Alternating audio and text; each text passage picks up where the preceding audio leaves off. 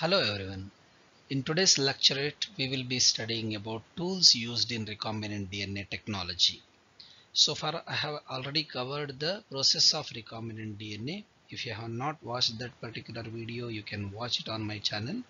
And in this particular topic, we'll be dealing with the selected tools which are used in recombinant DNA technology. The first tool what we are going to deal today is that is the restriction enzymes which belongs to type 2. Why we have focused only on this? So when it comes to the restriction enzymes, we know that restriction enzymes or restriction endonucleases are the category of enzymes which belongs to nucleases. That means which will deal with the uh, cleavage or cutting uh, of the nucleic acids. And restriction endonucleases specifically have categorized into four to five types depending on different aspects. Out of them the restriction enzyme type 2 will have specific qualities which are required for recombinant DNA technology and we will be analyzing those qualities which make this particular category of restriction enzymes more convenient than the others. First, we have to study that what why restriction enzymes because these are the bacterial enzymes bind to specific recognition sites on DNA and cut the backbone of both strands. So what happens here? Basically they have obtained from the bacteria but they are used in the recombinant DNA technology. Next comes the question why type 2 restriction enzymes? So because this particular group of enzymes they will cut in the middle of the recognition site as you can see in this particular animation. Next, how these type 2 restriction enzymes will cut. Since there are two types, we will be studying one by one. The first type, what happens if there is a double stranded DNA and restriction enzyme is there, it acts on a particular aspect and it cleaves and the two cleavage the, the two splits which have taken place or two cuts which have taken place in the DNA will have a straight blunt end. So this is called as blunt end. There is one more type of uh, cutting which is uh, where we can see that it shows here the DNA is cut at different aspects. So it is called as sticky ends so if we want to know how type 2 restriction enzymes will cut, they will cut in two manners that is blunt ends and cut ends. Different types of restriction enzymes will perform these two things and we will be studying more about these things, how they will cut, what makes them to cut like this, all those things in coming slides. Now why type 2 restriction enzyme enzymes? So what happens here? In a DNA molecule when we take it for uh, recombinant DNA technology we have to have a specific sequences which will useful to us for identifying both selecting the desired gene as well as the vector or plasmid genes. So to make this process uh, easier, what happens, the restriction enzymes which belongs to type 2 uh, restriction enzymes, they will recognize specific inverted repeats, in other words, which are called as palindrome sequences and by identifying these palindrome sequences they will cleave the double stranded DNA which will help us to get proper desired length of DNA or the desired gene or gene of our interest. So let us study this particular aspect in more detailed manner. So there what are recognize recognition sequences? At this point of time the doubt comes in our mind what will be the recognition sequences.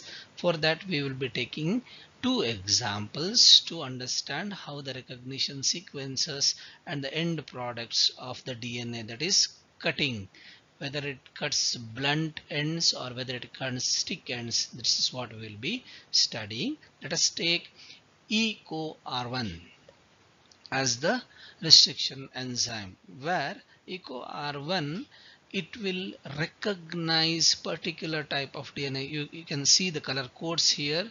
So A with the, blue color T with this orange color G, G with green color teal color uh, uh, C with uh, ATGC ad adenosine thymine guanosine cytosine right so these sequences these specific nucleotides if they are in the same sequence and if they are palindrome. So here from this end if we study them G A A T T C and if you palindrome means the inverted repeats. So here also it uh, reads like that only G A A T T C then when EcoR1 is there it recognizes this particular site between G and A, G and A and when it comes and it analyzes G and A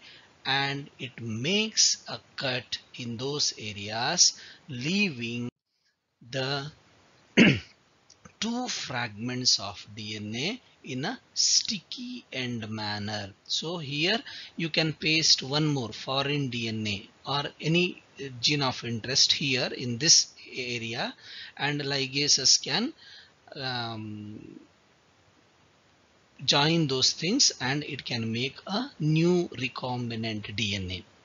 Let us let us continue by taking one more example of one more uh, restriction endonucleases namely EcoR5 EcoR5 it recognizes the sequences if they are in GAT ATC manner.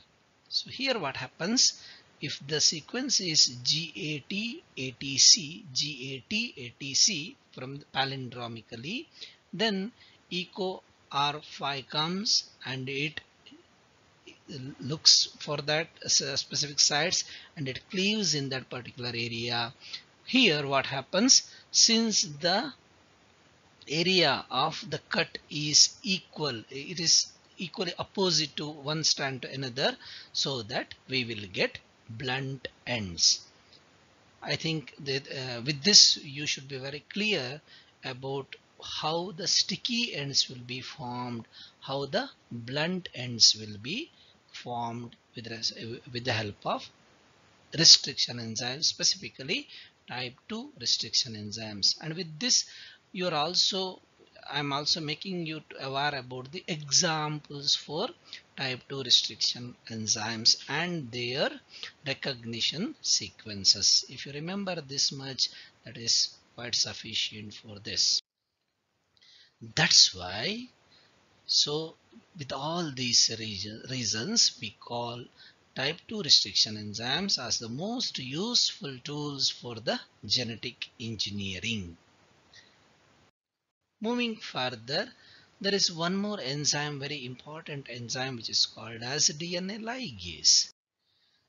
DNA ligase is such an enzyme which works most efficiently when the ends are sticky ends. That means the restriction endonucleases like EcoR1 if they work so then if we, we if we use EcoR1 like restriction enzymes which will produce sticky ends and if we use ligase ligase that will be having a firm mm, recombinant DNA and this is how it can ligate it can paste two different DNA molecules.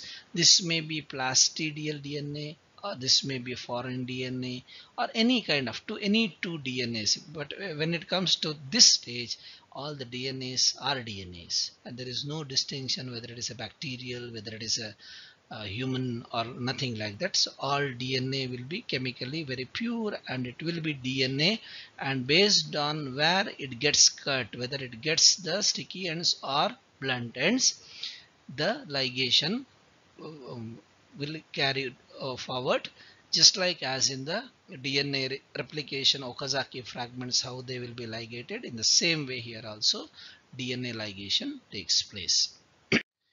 One more very important tool which is required for recombinant DNA technology is vectors. Here there are though they are very uh, big number of uh, types of vectors starting from viruses till the uh, artificial uh, chromosomes yeast uh, artificial chromosomes like that so but we will be confining our topic to the plasmids as vectors because plasmids are easy to understand and to understand the basic concept of the biotechnological tools uh, plasmids will give a very good idea for us to uh, improve our knowledge on this particular aspects.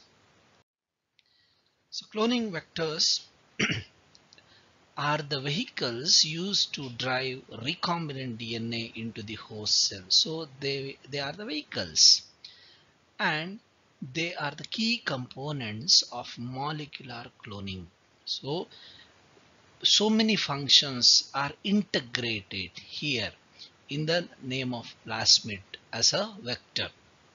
So in almost all the processes which are there in the recombinant DNA technology, they will involve these cloning vectors within them because it is the prime component in the molecular cloning and they will hold foreign DNA for further manipulation.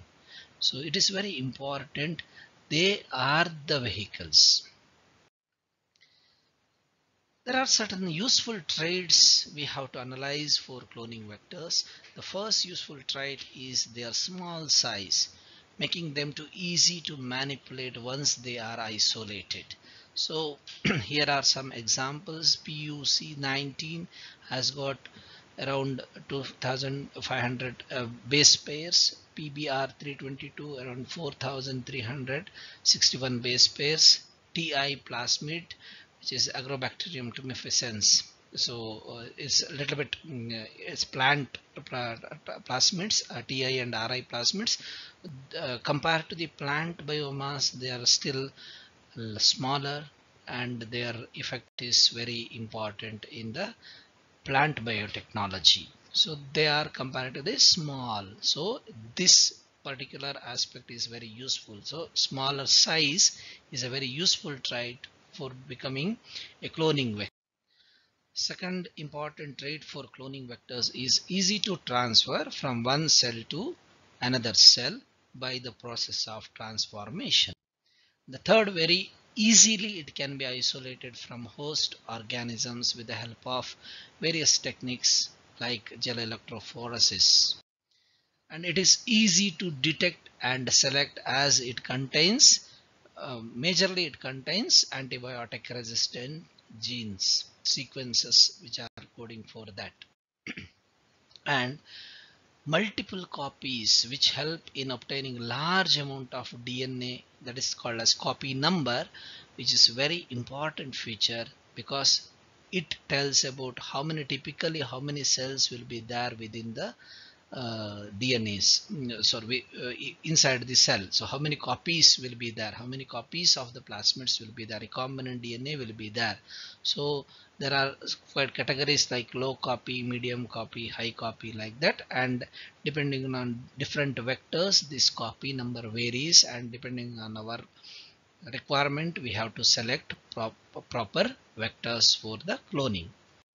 Clustered restriction site or multiple cloning sites will be there which are also called as polylinkers which will allow insertion of cloned DNA so we can see that there are so many uh, linking sites uh, we can uh, get by cutting them through the uh, specific restriction endonucleases. And last but not the least method to detect presence of inserted DNAs are easy on cloning vectors. We can make them by understanding insertional inactivation or alpha complementation processes. So these processes are a little bit lengthier to explain. So let us understand let us uh, only mention those processes to know and to move further. Next important aspect with respect to the cloning vectors is certain features of cloning vectors. There should be very three very important features in the cloning vectors. The first is they should have origin of replication. So origin of replication need to be there what is that origin of replication? Origin of replication is nothing but it is a sequence which begins the replication. So as we know the plasmid is a self-replicating circular chromosome DNA molecule. So the self-replication begins at the origin of replication or ORI site and any DNA linked to this particular ORI site only gets replicated. And the copy numbers is determined by the ORI site so how many times the copying will be uh, done by that particular plasmid is is determined by the ORI site that's why it is very important with respect to the cloning vectors second very important aspect is selectable markers. So usually genes encoding resistance to antibiotic like um, ampicillin tetracycline are used here and they helps in identification of non-transformants and selectively permits transformants. In this particular example we can see there are two ampicillin and tetracycline resistant sites in PBR322 we can observe in this particular diagram. Third very important category is multiple cloning sites which is also called as polylinker and they are the unique restriction enzyme sites. Here you can observe in this particular region there are so many sites for the recognition sites for restriction enzymes and depending on the nature and depending on the insertion length of the desired gene we can select uh, uh, restriction enzyme of our choice and we can perform the activities. Our refers to researcher's choice and we can perform the uh, function of recombinant DNA process. And it is a site for insertion of desired genes. These are the very important features for cloning vectors. So I'll just repeat the three processes which are very much important. The uh, presence of uh, origin uh, of replication presence of selectable markers and multiple cloning sites are the key features of cloning vectors.